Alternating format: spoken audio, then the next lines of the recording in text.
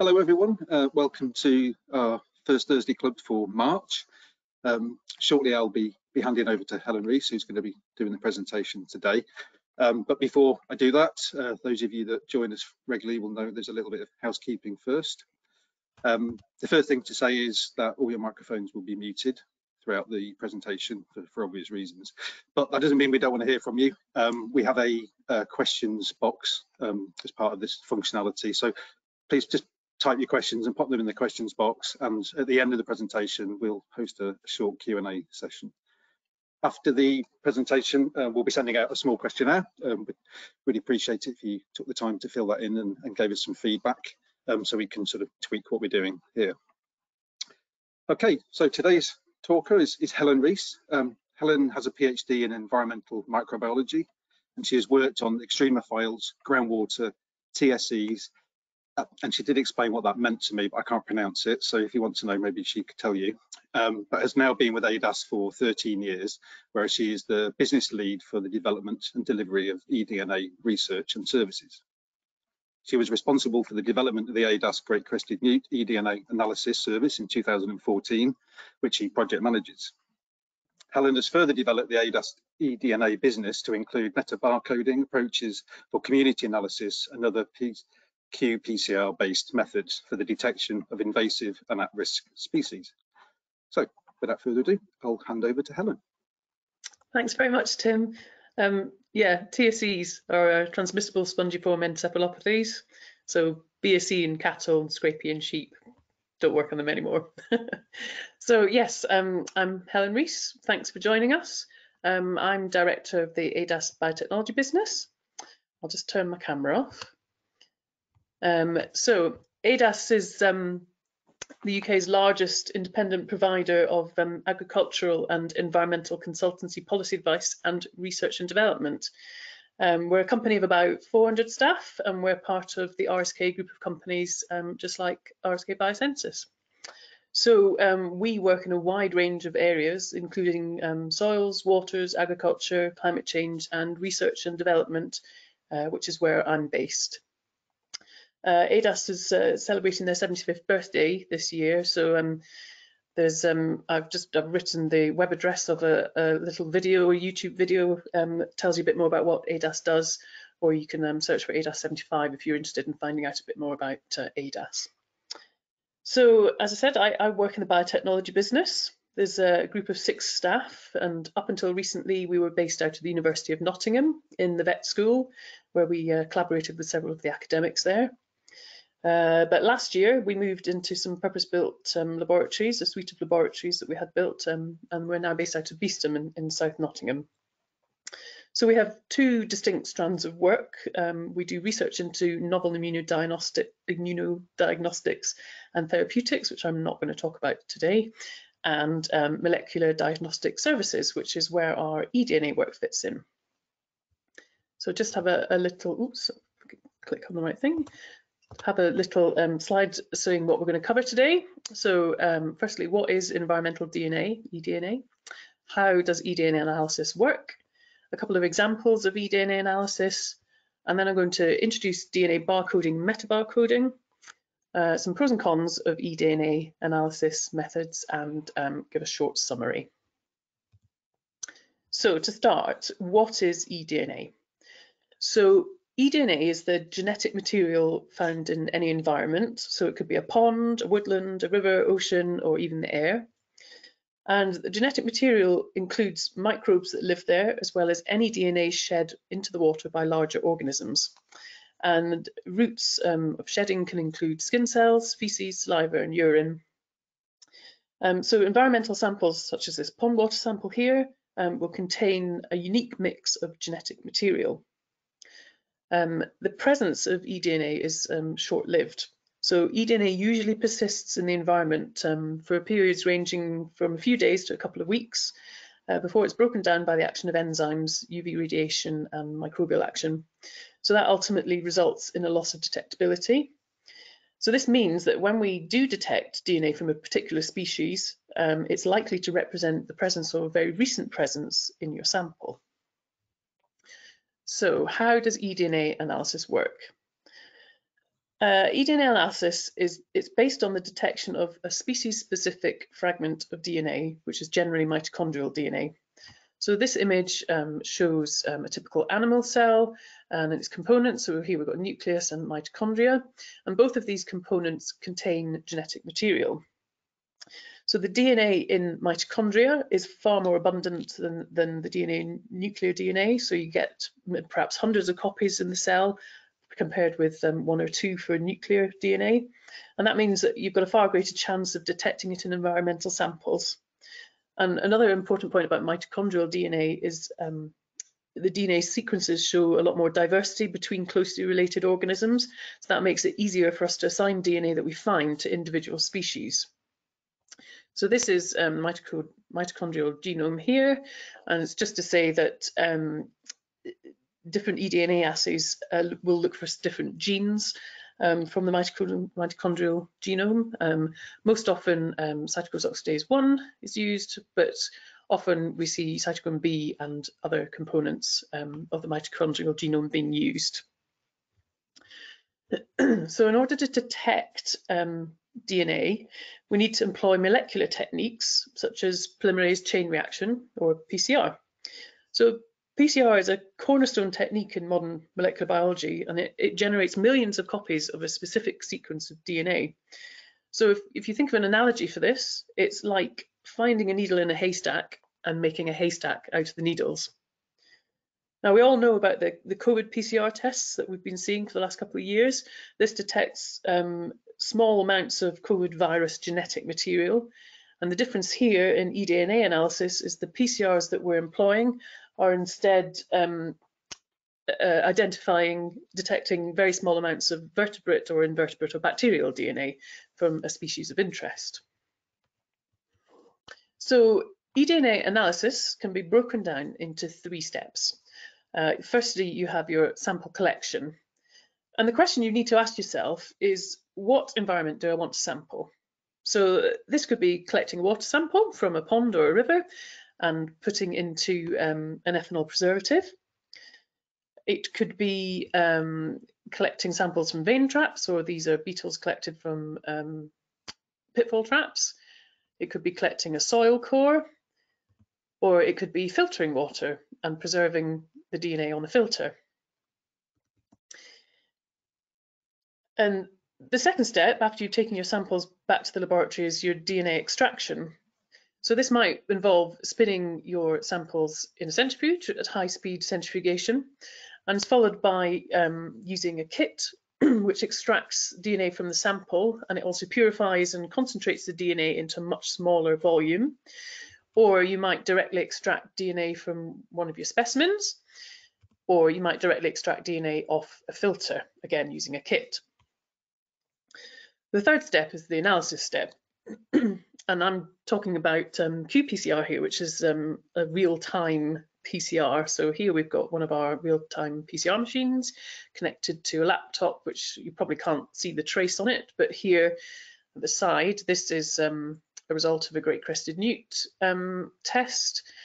And um, you see a sigmoidal curve, if I can illustrate that with the arrow. So if you see a sigmoidal curve, what that means is you've got amplification of your PCR, and that means that the sample's positive for the species you're interested in. Or you might get a flat line on your graph um, where there's no amplification, meaning that the sample's negative for your species of interest. So it's a nice quick visual yes, no answer. So the best known example of using um, eDNA analysis in ecology is that of the great crested newts in the UK. Um, and this is how we at ADAS first got involved um, starting working with eDNA. So in 2012, one of our ecologist colleagues asked the question, can you test a water sample to see if it has great crested newts in it? And he was actually um, referring at this time to the use of a lateral flow test where we could dip a lateral flow test into a pond water and see if you could detect great crested newts.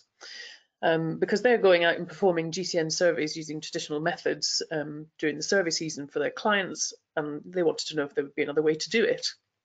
So over the next, we went we went away and thought about it and looked at um, publications. And luckily, around this time, um, the Thomsen Group published a paper um, which um, contained an assay for great crested newts. So we spent the next couple of years um, getting our ecologist colleagues to collect water samples when they were going out to perform um, GCN surveys. Um, and we got the assay up and running in the lab and compared a whole load of samples with, with known great crested newt presence and absence. And we published this work in 2014, just after um, DEFRA published a much larger study in the UK um, of the use of this eDNA um, assay to detect great crested newts in the UK. so this was um, very quickly followed by Natural England sanctioning um, the eDNA assay for great crested newts uh, from April 2014. And because we'd already been working on eDNA, we were in a really good place and we started offering um, great crested newt uh, eDNA testing service. And since 2014, we've analysed nearly 19,000 samples. But um, so hundreds of papers have been published on eDNA methods for all sorts of species from a range of environments, although the majority are still in water. But as long as you can get a reference or control material and sequence data is available, single species detection is essentially limitless. Um, eDNA analysis has been used for the detection of a range of species worldwide now, and that includes both rare and invasive species, and also over a range of genera, such as fish or amphibians, reptiles, mammals, and invertebrates such as mollusks and gastropods. so we in the last 18 months at ADAS have been involved in involved in developing um, an eDNA assay for some freshwater snail species for Natural England. Um, and that included the Chinese mystery snail, which is um, an invasive species in this country. It was discovered at the Pevensey levels in East Sussex in 2018 the hypothesis being that it was either accidentally or intentionally released by an aquarist. It's also known to be an Asian delicacy, so there is a, a hypothesis that perhaps it was released for this purpose. Um, so we developed an eDNA, eDNA assay to work in conjunction with manual surveys to monitor the spread of the species through the ditch system at the site. Um, and this will allow mitigation measures um, to be to put in place so that we can prevent the further spread of the species.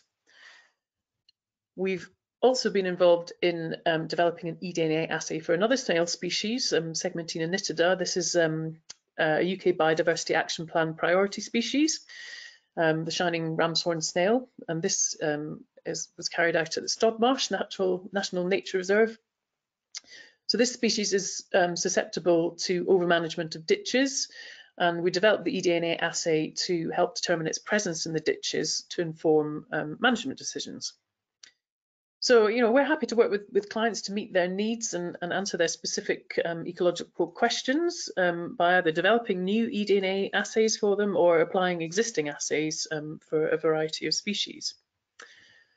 Now, so far we've looked at single species detection, but what do you do if the question is what's in my sample rather than is species X, Y or Z in my sample? And in order to do this, I need to introduce the principle of DNA barcoding. so DNA barcoding it involves um, starting by extracting DNA as you would for um, great crested newt eDNA analysis, for example. Um, and um, you then PCR up um, a specific part of the mitochondrial DNA called cytochrome oxidase 1. You purify your uh, PCR product, send it off for sequencing, and when you get your sequence returned, you compare this to online sequence databases, and that allows you to come up with a species identification. Now, the best way to think about this is as if the DNA sequence of, you know, about 680 base pairs is a supermarket barcode. So every species has a different barcode, just as every item in a supermarket will have a different barcode. And that allows us to identify each species. So we use this technique um, when we identify bat species from um, from guano. So we've got some um, guano, some droppings here. We use a kit to extract the DNA. We PCR amplify, um, send it off for sequencing, and when we get our sequences back, we search against the databases, and here you can see this sequence has got a 99% identity to um, a sequence um, of a bat on, on the databases. So this allows us to identify the species that the feces came from, And it's not limited to bat species identification. It can be used on um, many other species can be identified in this way. so metabarcoding uses the same principle as DNA barcoding, but it allows the parallel sequencing of thousands or millions of um, pieces of DNA at the same time. So this is going to allow us to answer the question of what is in my sample rather than is species X, Y, or Z in my sample. So the process starts in the same way by extracting DNA from a sample, for example, a water sample, and this will contain the DNA from the whole community of species present. We then PCR amplify the region of DNA that we're interested in using a PCR that's not specific to a single species. So um, we we are essentially accounting for variations in sequence across a multitude of species. So in the diagram here, we've got a mixed sample with lots of different um, genomic DNA in it, and this allows us to amplify lots of different species represented by the different colours as opposed to um, a single species. Now there have been primers designed for the amplification of whole groups of vertebrates and invertebrates and plants and um, we can apply these to a different, you know, a range of samples um, for metabarcoding. So the resulting products um, are then sequenced on a high throughput sequencing platform which generates millions of sequences and these are then processed using bioinformatics which is essentially just computer data analysis and that ends with the comparison of the sequences that we've generated with online sequence databases and that produces a list of species that are present in the original sample. Now, it's important to note that um, the results will only ever be as good as the databases that we're comparing our sequences to. So if a species DNA is not present in the database, um, you will not be able to identify that species in your sample. So these are known as gaps in the databases, barcode gaps, and a lot of work is being carried out worldwide on closing these gaps, uh, including in, in the UK, the um, Darwin's Tree of Life project being run by the Sanger Institute, um, which plans to read the genomes of all known species of animals, plants, fungi and protists in Britain and Ireland. So it's a, a very ambitious, very ambitious um, project and you can look at their website if you want to find out more information about that. So um, at ADAS, we've been involved in a number of metabarcoding projects uh, ranging from gene pools, which is one that we're uh, carrying out at the moment. This is investigating the life that dwells in garden ponds in uh, Bristol, London and Newcastle. This is for Natural England and it's being carried out alongside CEFAS and the Natural History Museum and the Joint Nature Conservation Committee. Um, we also have a PhD student who's looking at zooplankton and phytoplankton metabarcoding. Uh, and we've done um, terrestrial invertebrate metabarcoding from um, pitfall and vane trap samples. So um, the results can be presented in a variety of ways. Um, and I've just put an example of uh, a graph, which is a nice visual representation of how results might look. Um, and on these, each um, each color, if I can get my arrow, each color represents a different species and the size of the color represents the proportion of sequence reads for that species. So you can see here in sample, oh, arrow's gone, you can here see, see in sample one, for example, the species represented in green is higher in a much larger proportion than it is in sample two, for example. And likewise, in sample two, the species represented in yellow is present in a much higher proportion than it is in um, sample one. So it's a nice visual representation of your results. Um, if we look at um, the literature, since 2011, over a thousand peer-reviewed papers have been published using metabarcoding, and there's a huge variety of um, applications. So it might be biodiversity of soils, it could be fungal species diversity, it could be blood meals of mosquitoes, and that's really interesting because you can perform diet analysis and, and create food webs. It's also been used um, uh, on pollen to work out what um, plants honeybees are feeding on, is that, for example. Uh, it's been used for benthic communities, and, and there's many more examples um, where metabarcoding has been used. So it really is a powerful technique um, that's becoming ever more popular. But there are pros and cons to environmental DNA analysis. so certainly the ease of taking samples using um, simple and low cost equipment um, lends itself uh, very nicely to to be able, you know, to performing this kind of analysis. Um, eDNA, eDNA analysis is also generally non-invasive, so that offers considerable advantages over traditional techniques where the species might need to be um, disturbed or caught to get a positive identification, and obviously that encroaches on animal welfare. Um, eDNA is particularly useful for species that are difficult to detect or elusive um, using conventional methods or even where licenses are required. So um, it really does lend itself to projects that involve local communities um, of citizen scientists, and that in turn can help increase public awareness and understanding of um, science and the environment and reduce the cost associated with survey effort. Um, eDNA analysis in the last decade has really proved to be a robust technique um, that can increase detection rates, it can reduce survey effort and save costs compared to conventional surveys, but this is all provided that the best practice and quality control procedures are put in place and, and robustly followed. So this is, is both in terms of sample collection and laboratory analysis. Um, errors are possible if care is not taken during sample collection. So for instance, cross-contamination of samples or sampling equipment might cause false positive detection during laboratory analysis. And um, similarly, poor laboratory technique and cross-contamination within the laboratory um, and that could be during sample processing or even from prior amplified PCR products that can lead to um, false positive results. So we really need to ensure that most the most robust laboratory setup and you know to minimize in laboratory cross-contamination eDNA laboratories should really run in a unidirectional flow and that that means via a one-way system so materials and staff don't move between different laboratories. Um, so if you have a DNA extraction laboratory, a PCR setup laboratory, and a PCR amplification laboratory, you're not moving between um, these, these different laboratories. so for um, eDNA analysis of Great Crested newts in the UK, um, Natural England via FAPAS provides a proficiency testing scheme. So this is whereby laboratories are um, assessed annually for their accuracy, accuracy, consistency and false errors. And ADAS is the only service provider that scored 100% in every year that this proficiency test has been run between 2017 and 2022. So, you know, we're really proud of that. Um, and finally, as yet, um, eDNA is not able to provide quantitative data to the level of accuracy really needed to determine how many individuals might be present. At best, it's, it's a semi-quantitative method. So just to, just to summarise, um, eDNA can be used to detect almost any species where a sample can be collected. It has advantages over traditional techniques, but it's not a replacement for those. It's not yet quantitative.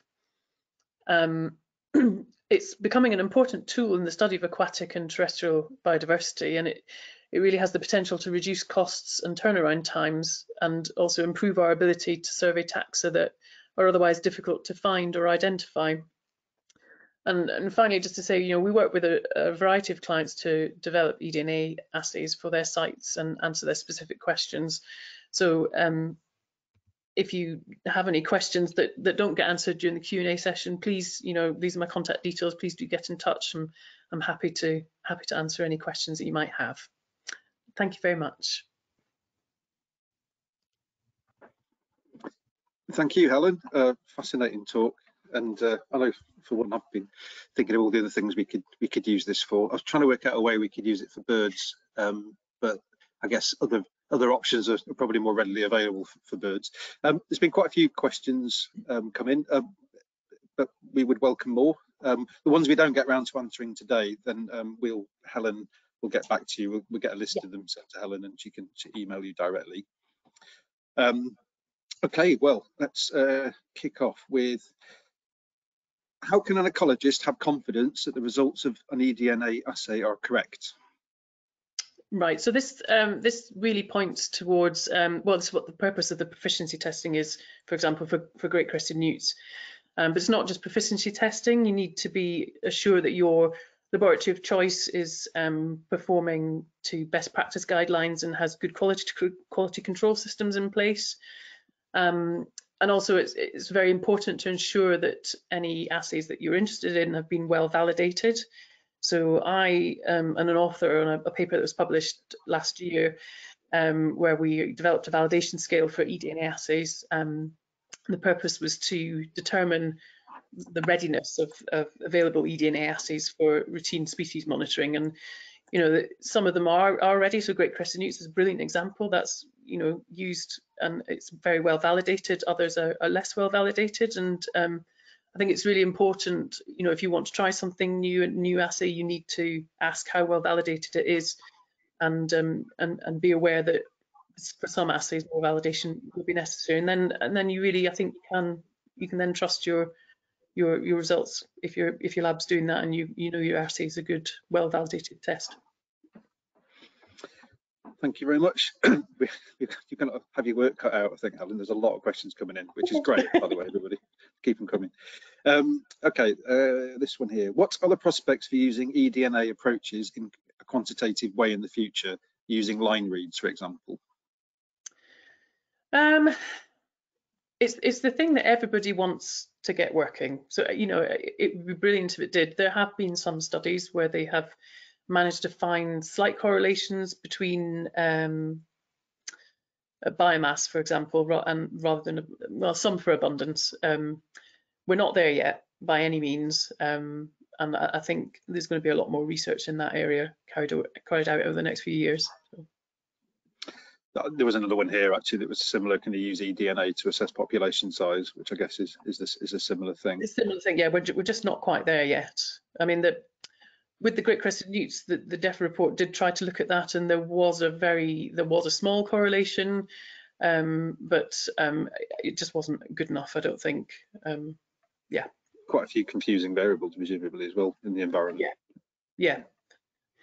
I suppose another sim similarly linked question was can you use eDNA to survey for species in running water? And presumably yes, there's yes. challenges involved in that compared to static water, is there? Yes, yeah, there is. I mean, but there have there's been a lot of um, assays developed for species um, in rivers, in, in marine environments, and obviously um, flow of uh, transport of eDNA is is a, an important factor. But um, uh, yeah, it's often counteracted by you know sample volumes and um, number of samples you take. But yeah, it's, it is possible in running water. So there, there's a lot of work being done in that as well.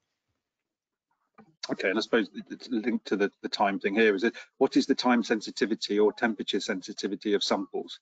How sensitive are they, and how quickly do they need to go from the field to the lab? Um, so if if this is in terms of great crested newt samples, for example, so they are the whole point of uh, the water being put into the um, ethanol preservative is that the ethanol is there to preserve your DNA. So um, as long as you're not um, having those samples at high temperatures, your DNA should be preserved until it gets back to the lab. Likewise with filters, um, when labs send out filters to people, they'll often have a preservative. It might be ethanol, it might be um, a buffer preservative. And the whole point of that is to preserve the DNA. I mean, it is always best to try and keep the samples uh, cool or in a fridge if you can, but you know, or uh, you, you want to get samples back to the lab quickly. But you know, there's a reason why we're adding preservatives. Mm -hmm. Thank you. Um, how does the water depth of the taken samples affect the results? Do you get different results sampling the surface and the bottom? Yeah, so actually, uh, myself and a colleague were talking about this yesterday because we, we were saying you know, if you have a pond that's six meters deep and a pond that's, you know, 30 centimeters deep, then presumably that's going to affect, you know, the amount of eDNA that you can recover, and obviously that will. Um, there've been studies um, done. There's a great study actually done um, of fish in um, the Lake District and some of the lakes in the Lake District by um, a group in Hull University. Um, and they looked at transects across across the lakes. They looked at depths. They looked at around around the lake. So you can you can do all these different things. And if you sample in lots of different areas and different depths, and obviously you're going to get better better rep representative results. Um, but certainly for ponds, it doesn't seem to be as much of an issue with with the depth, um, as long as your pond's not going too big. Sure. Uh, okay, one more. Can you use eDNA to detect pathogens such as chytrid? Yes. Okay. yes. There's, um, there's, yeah, there is a test for chytrid um, from water samples. Yeah. Also, um, crayfish plague. Uh, I think ranavirus as well. Mm -hmm. Uh, this is a bit more esoteric, I suppose, but uh, where do you see the eDNA testing industry going in the next couple of years? Uh, right. Well, for for ADAS specifically, you know, we're obviously we're going to carry on with our Great Crested Newt service and and and you know provide other assays for other species as our as our clients want. But I do think that we'll move more and more towards the metabarcoding because it is becoming more popular as clients um, start to realise the potential that it's got. Um, one thing that we're particularly interested in at the moment, actually, it's interesting you mentioning the birds, Tim, is um, last year, at the end of last year, there were a couple of papers published where they looked at eDNA in air samples and they essentially um, collected air samples from in and around zoos and they were able to detect a lot of the species present in the zoos within these air samples. So we're, we, and well, ourselves and lots of other people are, are really interested in looking at that. I mean, we've done some air sampling previously, so we want to try some of the methods we've used before and um, see if we can detect eDNA in those samples. So that's, I think that's a really exciting, really interesting area of research. Absolutely, yeah. Uh, can we get eDNA from extreme or harsh environments? Um, yeah, I'm guessing sort of deserts and, and, and those sort of areas. Yes, I mean, yeah, you can. I mean, so uh, when I my PhD was um, on extremophiles from high high salt, high alkalinity environments. So I was looking at um, uh, bacteria and archaea from um, soda lakes in Kenya, um, and you know, we were able to detect, we were able to look at community analysis for those um, for those samples. So yes, it's entirely possible. I mean, obviously, if you're in a very hot environment, it's all about sample preservation. So that that would need to be carefully considered, I think. Hmm. But yeah, I see no reason why not. Uh, could eDNA be used to assess total number of species in a sample, even with the gaps in the reference li library? Uh, yes, in the sense that, so when you're doing metabarcoding, you get your list of species that are known to be present and um, you can, any sequences that don't match things on the database, you can, you group them together and have a representative sequence for those. Um, so they're called OTUs or, or AVIs. And although they're not assigned to a species, you might be able to assign them to a, a genus, for example, or you can then search at a later date to see if, if gaps have been filled in the databases and, and, and see if you can detect them that way. So yeah, I guess it gives you a proxy for yeah diversity without knowing the full species yes, list. Exactly. Yeah. So all the ones we do know, plus there's 10 we don't, but we know there's 10. Yes, that's right. Yeah.